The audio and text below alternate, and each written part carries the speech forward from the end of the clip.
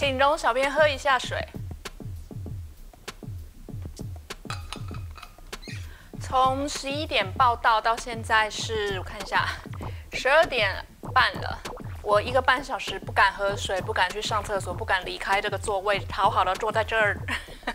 就是为了这部《害人来电》。相信大家刚刚看到我们的专访，一定都觉得这部影集。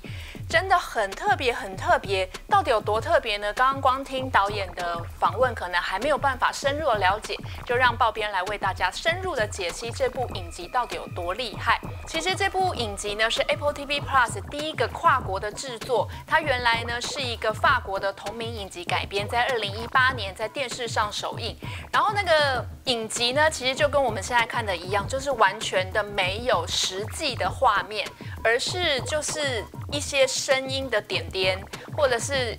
那个人名而已。它的影像风格比美国现在的版本更简单、更极简，它却让人产生了更多的联想跟恐怖感。然后在法国非常的受欢迎，上映没多久之后呢，就马上被 Apple TV Plus 买下了版权，然后法国原版也被 Apple TV Plus 买下了。那原创者呢，叫做 Timothy Hochet。Timothy Hochet，希望我没有念错，因为他是法国人，名字可能是 Timothy。Timothy 呢，他原创的版本其实是一个十分钟左右的短片。他在二零一六年，他才二十三岁的时候就上传到 YouTube，马上呢迅速就获得四十万的点阅嘛，然后就被呃制片公司看上，然后请他来把它发展成一个影集，真的很强大哎！大家可以去呃 YouTube 上找找看，打他的名字 Timothy h o c h e n 然后。他自己有一个频道，所以呢，呃，大家很容易就可以找到那个短片，里面有一些是讲英文的，比法国影集版好懂。因为边在做功课的时候，试着想要去看法国的影集版，但是其实真的完全听不懂。然后就算他有打字，但是也完全看不懂。所以原版的的呃短片版还有一些英文是可以让大家比较好懂的。如果你英文 OK 的话，他在制片公司找他要发展成影集的时候，他就觉得。答应是答应，但是觉得有点奇怪，因为呢，为什么说奇怪？因为它其实原本的短片几乎是没有影像，它根本没有一个会动的影像，它的几乎就是定格在那边，就是只是告诉你说现在谁跟谁在讲话而已。然后这样的东西可以发展成影集吗？他自己也觉得很狐疑，但是他也答应了。在两年的发展之下呢，完成了这个法国的影集版。他自己当然也就是恐怖片迷啦，那是跟所有的恐怖片迷一样。报编其实虽然很害怕看恐怖片，但是常常呢就是被吓吓吓吓吓到最后，最失望的那个 moment 通常都是怪兽出现的时候，就是真的看到怪兽长什么样子的时候，通常就是最呃最失望的时候。因为其实你在听到怪兽的声音啊，或是呃大家很害怕的感觉，在怪兽还没有真的实际影像出现在前面的时候，你自己的想象里面就是最恐怖的，就像刚刚导演讲的一样。呃，如果我讲一个怪兽，你可能心里有自己的想象，然后那个感觉就是你最害怕的怪兽的样子。就看到电影里面真的怪兽出现，你可能会嗯怎么长这样，或者是嗯不恐怖这样。所以其实呢，他说的真的很有道理，就是最成功的电影其实是给观众看到越少的东西越好。这样也让我想到境界，就是它声音越少，但是那个恐怖的感觉。无声的那种恐怖反而越大，跟这部影集是两个截然不同的那种境界啦。那其实大家也可以看。然后声音，我觉得它就是一个可以骗人的东西，画面加上去可能就少了那种神秘感，因为就告诉你说啊，它到底是怎么样。但是如果只有声音，只有一些抽象的画面带带动你的情绪，我觉得那个感觉是真的很特别、很不一样的。然后它的声音设计，他也说就是有点像呃。诺兰的《敦刻尔克》，他其实不用血腥的画面，不用战争真的断头啊、流肠子、肚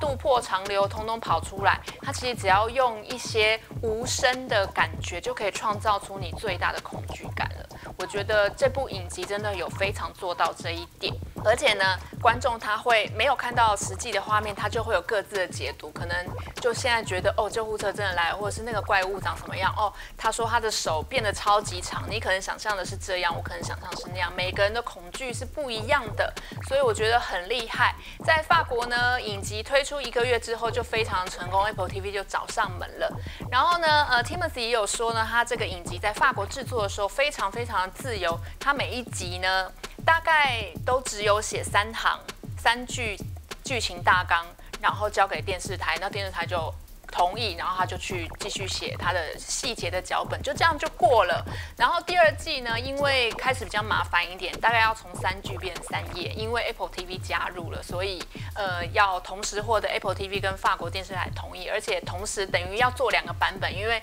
他要做英文的版本给 Apple TV，然后给然后法文的版本给法国电视台，所以等于要写两两个版本。但是他说呢，自由度一样是非常有的，只是要花比较多时间写。然后他很厉害的是，他一集大概三个晚上就可以完成了。为什么说是晚上呢？因为他觉得恐怖片要在晚上写比较有 feel。就恐怖，我现在你知道我们今天在晚上做访问嘛？然后刚刚开始在那边等的时候，就因为大家有可能有些记者他的麦克风没关，就会发出发生一些稀稀疏疏的声音，就。不知道是被这个影集影响，就觉得好恐怖，很真的。我觉得没有影像，没有实际影像，只听那些求救的那些声音，真的会觉得让你觉得毛骨悚然。好啦，那刚刚讲。完了这部影集的缘起，骇人来电的缘起，现在来真的来介绍一下这次的美国版到底有内容有多少巧思呢？其实它就是各种的声音组成的一个影集，包括了像是飞上的黑盒子啦，各种的打电话报警的电话啦，或者是打电话给一一零啊、一一九啊那种急救电话，然后对讲机啊，或是留呃电话留言等等。其实呢，呃，原来 Timothy 他就是在网络上在 YouTube 上听了很多。这种打一一九一一零的那种急救的电话，就有这个灵感，觉得哎，光听这些声音其实就很紧张，而且你听他们的讲话内容，真的会很紧张。有时候看那个新闻台啊，不是有时候也会有这种，就是人家打电话报警还是什么的。以前啊，我们在新闻台的时候，就是因为社会组可能就是要监听那个警察的广播，那种也会有一种感觉，就是他可能会说什么急急急，然后现在我们呃现在发生了什么事件，要全部集合这样类似的，就是会让你。你觉得哦，有莫名的一种紧张感，还是我比较容易紧张？相信你荧幕前的观众爆小粉们应该也是吧？快点头，或是快点打字告诉别人，你真的也很紧张吧？然后呢，呃，他每一集的这个谈话内容呢，看似没有关联，其实他到最后都会有一个巧妙的连接。到底是什么连接呢？当然就不能剧透，要大家去看了才知道。我觉得真的会觉得非常厉害，然后那个恐惧感真的是与日俱增，每一集每一集这样下来都是非常强大的。其实你各自去看每一集，其实也是都是可以独立的，所以我觉得可以大家花时间去看。重点是它很短，它每一集大概就十二到十五分钟而已，所以非常快就可以结束了。它的卡斯当然就是一开始会哇，让你觉得。非常吸引人的地方就是卡斯超级强大，包括了《神力女超人》的佩卓帕斯卡，还有艾伦泰勒强森、莉莉柯林斯啦、凯伦吉兰星际异攻队的凯伦吉兰，还有配音速小子的班史瓦兹，还有尼克强纳斯。当然呢，导演本人呢也是最佳的恐怖大师，他的暂时停止呼吸应该是我近年来看过最最最最最最最最最最最最最，也是声音。也是恐怖不能呼吸。导演说他拍的东西都是自己觉得恐怖的，所以他会被自己的电影吓到吗？应该是不会吧。然后呢，当然还有他的吓人好班底史蒂芬朗也有担任配音的工作，我觉得非常非常的。他们每个人演出的声音表情都很好，而且我觉得第一次看的时候，因为太进入那个紧张的情绪，而且因为要，因为我们看是可能也因为我们看是没有字幕，所以我要非常认真的看那个字幕，而且我们的画就是我们试看的时候画质不是太好，所以要很认真的看那字幕，听他们讲什么，就很进入那个剧情就。忘记他是 Lily Collins，忘记他是 Pedro Pascal，忘记他是 Stephen Lang，然后第二次再看的时候才会哦，真的是他的声音这样。我觉得他们演演戏演成精了，真的超强。当然呢，这个导演刚刚有讲到，就是来自乌拉圭的导演费德阿瓦雷兹，他之前的作品呢，刚刚有讲到《暂时停止呼吸》啦，《尸变》呐，然后还有《蜘蛛网中的女孩》，他也是应该是史上难得拒拒绝 Marvel 的男人吧，因为他就是。以暂时停止呼吸啦、尸变这些作品成名之后，Marvel 就找上他，希望他能导指导 Marvel 的作品，但是他说不要，因为他觉得不能跟雷神合作。没没有啦，开玩笑，就是因为他觉得拍这么大制作的电影，他的那个创作自由可能会被限制，所以他就暂时没有打算要接 Marvel 电影。我觉得很可惜耶，希望他有一天可以拍出一个非常不同风格的 Marvel 片，或者他属于他自己的英雄片，恐怖英雄电影也是可以啊。好，这个影集当初早上编要访问第一个感觉，那时候真的资料超少，完全连预告片都还没有发，然后后来。我就想说这到底是什么，然后上网查完全没有资料，然后也不知道卡斯是谁，就想说这到底是什么。然后，但是我还是想说，哦，因为导演是暂时停止呼吸的导演，我对这个作品非常的有印象跟喜欢，我就当然是先答应再说。然后后来看到预告片，然后我就说，嗯，所以这是 podcast 吗？现在很流行的 podcast，哇靠，有事吗？编的 podcast 要听一下。然后呢，呃。就觉得这是 podcast 吗？后来就发现，你在看预告片的时候，可能只是觉得那些声音的线条啊，只是点缀。No no no no no no no no no no，你真的去看影集就会知道，那些线条真的会让你起鸡皮疙瘩的毛骨悚然，真的很机车。它就是会在那种就是很你毛躁的时候，它就会出现那种毛躁的感觉，然后断讯的时候就整个这样爆炸。超烦的，所以呢，我觉得那些线条也非常有加分。刚刚本来的问题里面有设定一题要问导演说你怎么决定你的影像 style，但是因为时间关系就很可惜没有问到，因为他我觉得他讲了很多和那个明星合作的事，我觉得很开心有听到，因为之前找资料完全没有这部片的任何资料，所以所有的爆笑们独家在我们这里听到，真的很棒。然后呢，呃，美连美国媒体都说这个就是很多大咖的影像影像版 podcast，然后也有说，也也有人就是因为他们还没有看，就说他们不知道可以看荧幕保护城市看多久，都盯着荧幕保护城市多久。这句话真的让我大笑，因为真的你看那些线条。没有看进去，只看预告片，你可能会觉得，哦，它可能是荧幕保护城市，但是真的就跟刚刚边一样所讲的，看进去你就真的不会觉得，会觉得很入戏。没有想过这就是这样子的影片作品可以让我这么的入戏，也增加了你的那种恐惧感，真的很烦。然后也有人说呢，因为他就是他没有真正的演出嘛，所以也有人在还没有看的时候就说他很适合用手机，他可能就在用手机看看，不用大荧幕了。错，要用大荧幕，为什么呢？因为他字很小。我那天就试着想要用手机看呐，看跨博哎，就是它上面那个字。真的看不到，需要一个大一点的荧幕。就算我用我身后这电视啊，就是那个影影片没有放到满画面，我真的觉得那个感觉也差很多。真的要放大大大荧幕，然后去感受到那个超凡人、超机车、超。Disturbing 超恼人的影像，就知道别人在讲什么了，好不好？然后对台湾观众来说，也许也会是一个很不一样的体验，因为我们会下面会有字幕嘛，我们的版本不可能说做成跟他们一样的效果，所以不知道大家看的那个感觉，可能又会更不一样。就我觉得上字的人应该会很辛苦，因为有的那个真的很急的时候，讲话超快的，很很酷。所以呢，我真的很希望大家都可以跟边一样去认真努力看一下这部作品《害人来电》。当然呢，说是在它真的很像模拟真实的那种那种状况，就是。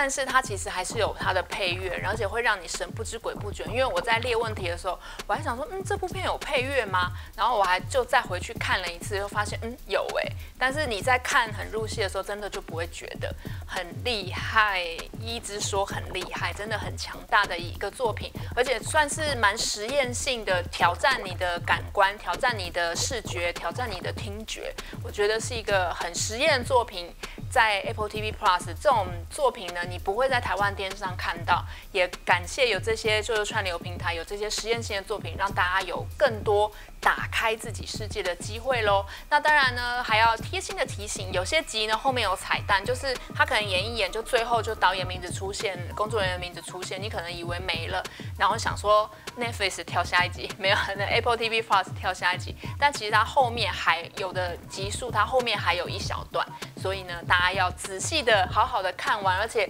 通常到后面，它那个音乐也是有搭配剧情的，我觉得非常非常的酷。所以今天呢，就是跟大家介绍，哎，我这样介绍这个影集，我介绍很认真呢。我本来以为就是大概跟这个影集一样，大概十分钟就会结束，我讲了十五六分钟。希望大家看到边的影像，不要觉得边很烦，不要跟那些线条一样，好吗？我其实我本来也很想说，啊，要是我们的节目变成那样子，就是全部都是线条，啊我不会做动画啦，谁可以帮我？好啦，那下次见喽！希望大家呢，所有的爆小粉帮我们把这个厉害的专访传送出去，然后让大家更多人知道我们的爆米花看电影。当然呢，你的分享。真的会让我们更茁壮。然后，如果你行有余力，每个月一杯咖啡以上的钱呢，就可以帮助我们节目更好。那怎么样可以帮助我们节目更好？其实我们所有的经费呢，都会拿来，比如说，呃，摄影也要钱啊，剪接也要钱，或者是一些买器材啊、制作费，其实都是会要一些经费的。那比如说四十九块。最低四十九块就会可以加入我们的 VIP 的社团，然后我们很多呃节目的讯息啊，还有专访的讯息或是明星的讯息呢，都会在里面先抢先报。那大家呃我们里面的爆小粉们也都很爱聊天，会跟大家聊很多很多电影相关的事情，很有趣。相信呢所有的爆小粉现在大家就一定要七嘴八舌的讨论，对不对？四十九块可以加入我们的 VIP 社团，一九九呢就会有爆米花学英文，或者是呢有时候会有独家的影片可以。抢先看，然后四九九呢就会有更多的影片，还有更多的福利，像我们的抢呃抽票啦，也会因因为这个呃如果数量有限的话，通常都会呃有物资订阅的金额多的会当然就会优先获得。如果有在参加活动的话，接下来就是七九九的七九九的也是呃有更多的独家影片，然后抽到奖品的几率也会更大，最高级。最厉害、最了不起的终极爆小粉就是一九九九的，他们都会有呃生日的时候会有独家的生日礼物，然后所有的电影周边也会优先获得。那因为疫情的关系，很多好莱坞电影都延迟上档，所以也很谢谢所有一九九九爆小粉风雨无阻的支持的爆米花看年，真的很感谢。讲到我这里，我真的觉得有点想要流泪，因为真的疫情的关系，我们受到很大影响，不仅是节目的内容，还有。像我们跟 Fox Movies 合作啦，因为现在没有那么多好莱坞片，所以现在是一个暂停的状况。但是呢，所有的爆小粉的爱真的没有停，大家还是对我非常非常好，对爆片非常非常好，非常的谢谢。好啦，现在要讲到二十分钟了，我觉得我应该要停止了，不然呢，我真的没办法睡觉。现在已经快要一点了。好，真的很感谢你们。然后今天我真的穿的衣服有特别选，就是我本来想要选，就是选一件就是有特别线条的衣服，就没想到这个线条呢，大部分都集中在下半身，所以大家看不到，看手臂好了。抹茶色的，超开心的，终于穿上它了。好啦，谢谢大家。那记得帮我们分享影片，然后告诉所有爱看电影、爱看影集、爱看 Apple TV、爱看 Netflix、爱看各种西洋啊、国片啊、华语片啊影集的朋友们，都知道我们爆米花看电影喽。爱你们，下次见。